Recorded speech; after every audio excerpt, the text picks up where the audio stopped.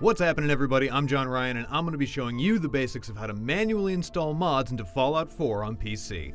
First off though, a big old disclaimer, adding mods to any game means altering the game files and how it runs. Always make sure to back up your game files and that you're downloading mods from a trustworthy source. Now, some of you may be old pros at this, but for those of you just getting your feet under you or perhaps trying out modding for the first time, we're going to start off at the very beginning. The first thing that you want to do is make a backup copy of all of your game files. This will ensure that if something goes horribly wrong, or if you need to uninstall a bunch of mods that maybe you forgot the locations of, you can start fresh without having to re-download or reinstall the entire game.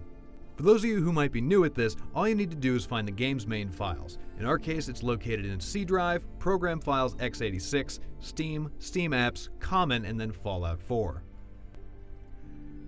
Make a new file wherever you want to store your backup. We're just using the desktop for now. Then select the game folder, right click and hit copy or use Control C, and then paste everything into that backup folder.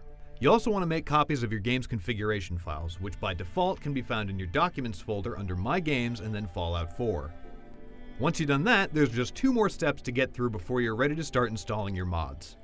In order to allow you to install and use mods in Fallout 4, you'll need to add a couple of lines to your configuration files, which again by default are found in Documents, My Games, and Fallout 4. First, open fallout.ini with a text editor. You can just use Notepad if you don't have anything fancier, and scroll down to the Archive section and find a line that reads S resource data DIRS final equals strings.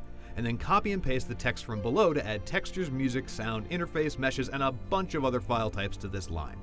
Use File Save or Control S to save the file, then open falloutprefs.ini.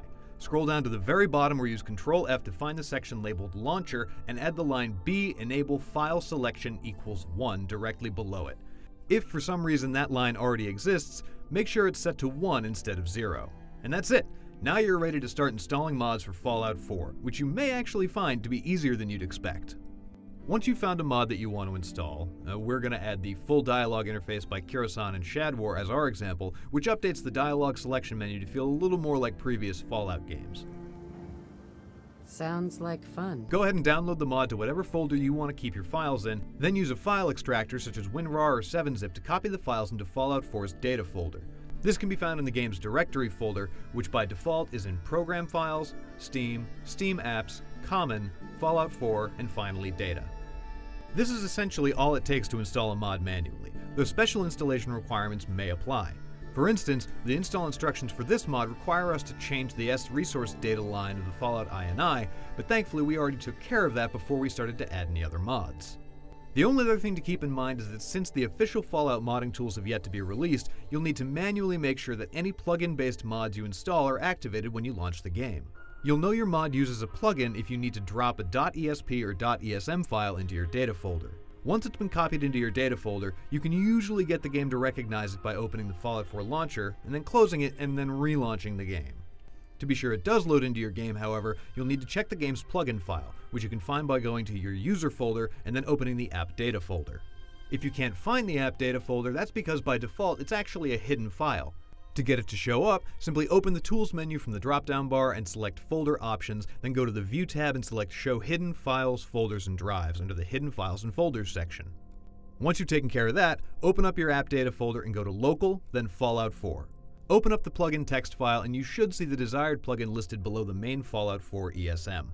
If you don't see it listed there, simply disregard the please don't edit this message and add the file name underneath the main game file to force it to load when you launch the game.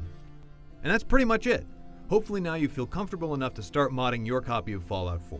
Be sure to check out the full catalog of our favorite mods on our wiki, and if there are great plugins or add-ons that we're missing, let us know there or in the comments below. For everything else on Fallout 4, you're already in the right place here at IGN.